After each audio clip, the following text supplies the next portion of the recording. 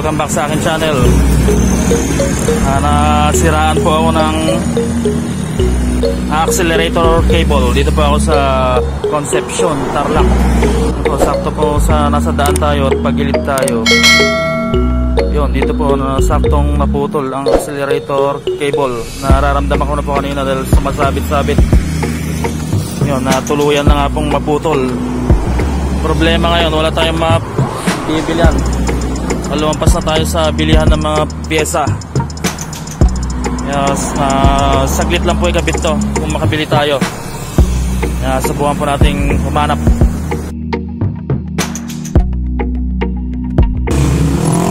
So dito pa rin po tayo. Uh, gagawa ko po ng paraan para maka, makapunta tayo sa bilihan ng pyesa. Ihila-hilahin ko po ito habang kan, pa, pa unti-unti na makapunta tayo sa bilihan ng pyesa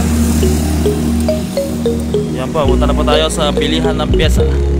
Dito po tayo sa Concepcion, Tarlac.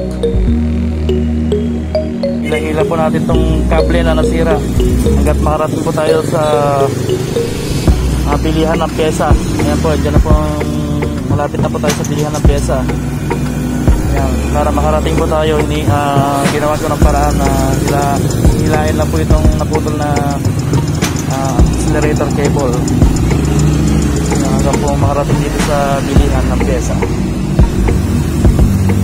So bibili na po ako ng accelerator cable. Ang accelerator cable na nasira papalitan po natin. Dito po tayo sa bilihan. Sa isang pinuntahan po natin kanina wala po silang tindang FSA na kable. Nagtanong po tayo at dito po pala yung pinagbilang ko rin dati ng sprocket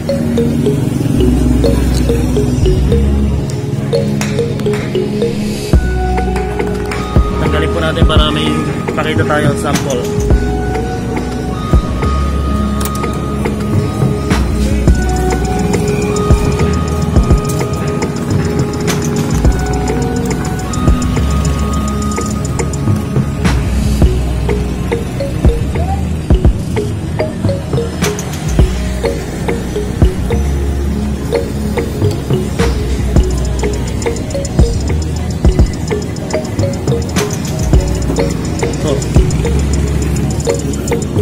tayo na pa magpapalit.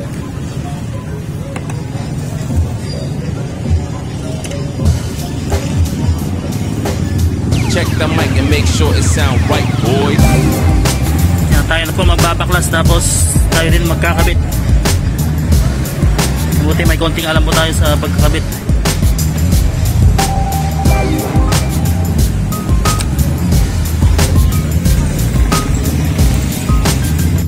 mabuti po may mga tools tayong dala. Kakalasin na po natin.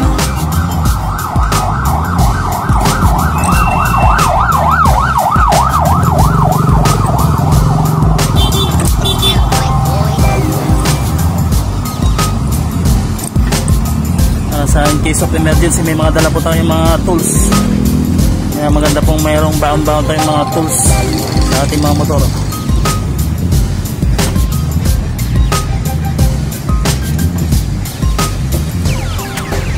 It sound right, Kalasin na po natin.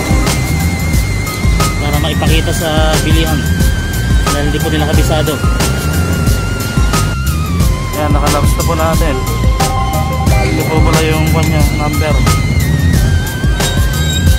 Ano po yung number ng kable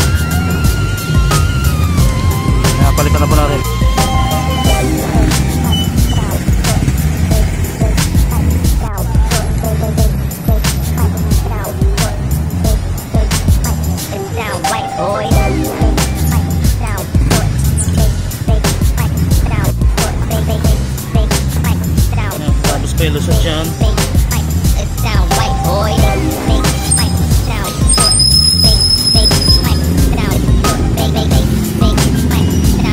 ito na po yung bagong kable ng FSI-16 throttle cable kakabit na po natin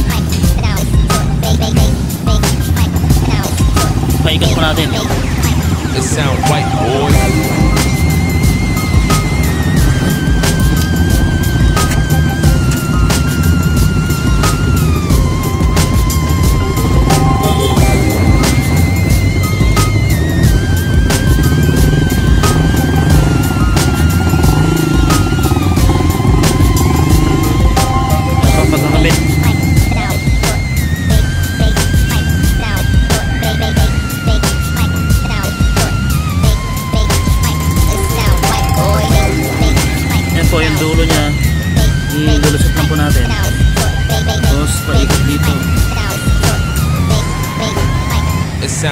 Sound right, boy.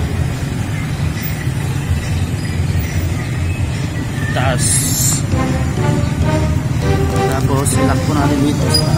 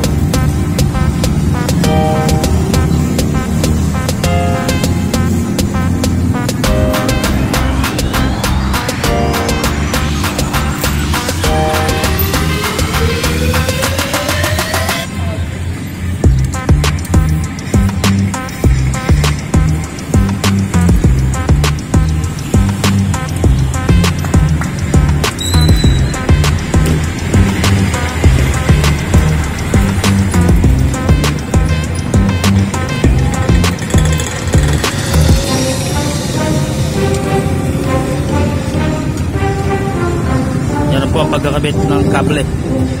Accelerator cable o throttle cable ng FC16.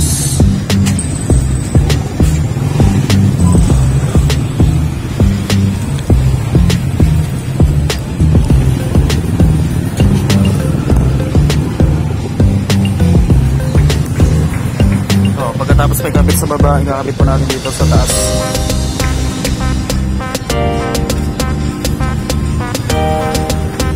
Yan, ibabalik na po natin yung mga tornilyo tinang tinanggal natin sa accelerator cable dito po sa taas. Yan, kakabit na po natin yung throttle cable na binili natin yung bago.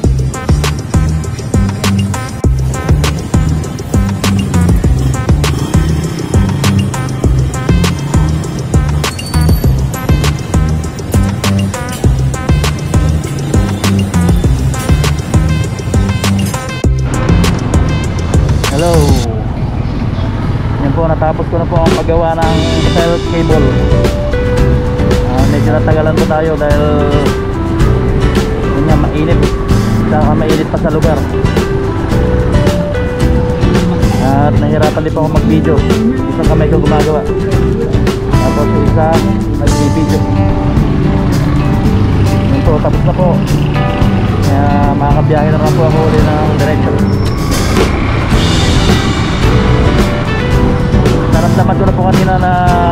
Umiipit yung throttle cable kaya mahina na ako na malapit na maputol.